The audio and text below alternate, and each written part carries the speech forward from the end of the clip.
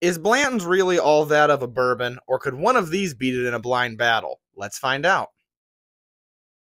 Better than Blanton's, number seven, I think. Let's do this. Let's assume that I am correct about the one that I think is the Blanton's.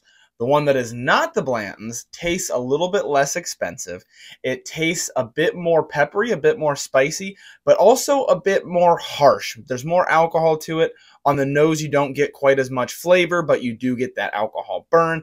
The Blanton's, or the one that I think is the Blanton's, has a little bit more flavor, a little bit more depth, and definitely easier to drink. So that is why I'm going to say that the Blanton's wins. Am I right? Blanton's wins versus Buffalo Trace. It's less expensive, same distillery. That makes sense.